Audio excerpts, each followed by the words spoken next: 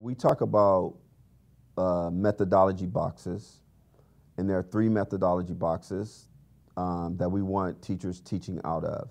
The first one is the traditional box, which is teacher centered, sort of sage, sage on the stage. There are a lot of one way exchanges, mainly teacher to student. And there's a higher effective filter. There tends to be more anxiety when you're in the, the uh, traditional box. Responsive box is student centered. So, teacher now is more playing the role of a facilitator more two-way exchanges versus one-way exchanges. And most times those two-way exchanges are student to student. And therefore now there's a lesser anxiety in the room because most of our, my time is spent with my classmates. And the third box, the culture responsive box, is in effect the same as the second box, except we're gonna add in now elements of culture that will be validating and affirming to who students are.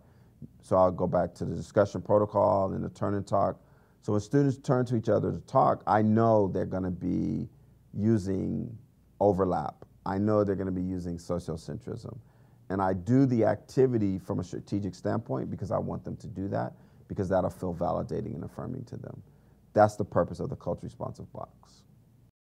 We create a welcoming and culture responsive school environment by first and foremost showing love, in particular outrageous love to everyone and it sounds hokey, um, but it's an intangible that is a necessary ingredient. And I think it's about warmness, it's about kindness. It's not about some of the cheesy things that schools do where maybe they have sort of like these great entrances into the school and everyone's pictures up, but it lacks it lacks the love, right? So for me, the first thing is for us to say, how do we show our love to our families and our community members? And that's going to happen in a variety of ways depending on the school and the context. So I don't have a prescription list. What I have is what I have is a thought for the school or building leader to say, have we had the conversation about how does it feel if I'm Somali and I'm walking through these doors, if I'm Mexican, I'm walking through these doors, where am I shown the love? Where am I shown outrageous love? And I think if they will, they will ask those questions and then answer those questions, it will give them the answer for what becomes a welcoming environment. I don't think it's about pictures and image.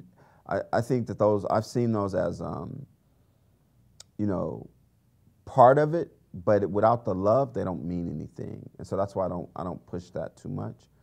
The question is, do you have, are you sending a message of outrageous love? And that's where it starts. So our goal is for all students to be successful academically. That's our goal. Um, this is not feel-good program. You know, we don't want people, you know, rah-rah just around who they are, right? in the context of school culture, we want all students to have success academically. And so CLR, for me, is um, it's like a, a, prerequisite to content area teaching or those things that students are going to need to pass the test or whatever. You got to have, you got to set up the right sort of uh, environment for them to want to learn. They feel safe, trust, they can trust others and ultimately they feel validated and affirmed. So I always follow Hattie's um, notion of uh, mediated effects. And in Hattie's um, synth synthesis of the research says that there are just some things that impact things that impact achievement. And so I've always looked at culture responsiveness as one of those mediated effects. It impacts student engagement, it, in fact, it impacts building relationships, it impacts school and cultural climate, and all of those things impact achievement. And that's, that's to me, that's, that's the chronology of it. Um, so I'm trying to help those things that help students be, be academically successful.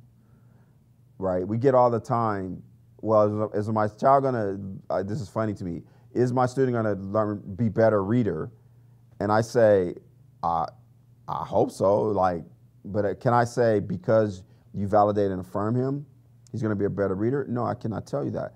But I can tell you by validating and affirming him, you're to create an environment that would allow you to then teach him to read that will then enable him to be a better reader.